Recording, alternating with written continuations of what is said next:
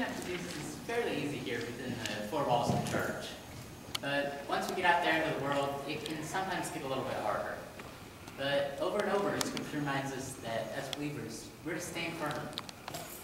1 Corinthians 15, 58. Paul says, Therefore, my dear brothers, stand firm. Let nothing move you. Know that you're, for no, you know that your work in the Lord will not be in vain. And then in James chapter 5, 5, verse 8, he tells us to stand firm because the coming of the Lord is near. And in 1 Peter 5 9, Peter reminds us to resist the devil, standing firm in faith. Uh, Luke, Jesus himself teaches that uh, by standing firm, he will gain life. So tonight, we want to join with these great people of the Bible, Bible and echo their words of encouragement to stand firm, both as an individual and as a church. How does this look? Well, we must stand in His power and not in our own strength. We live in a society that glorifies an independent spirit. However, this could not be further from the truth in our spiritual walk. We must become dependent on the Holy Spirit.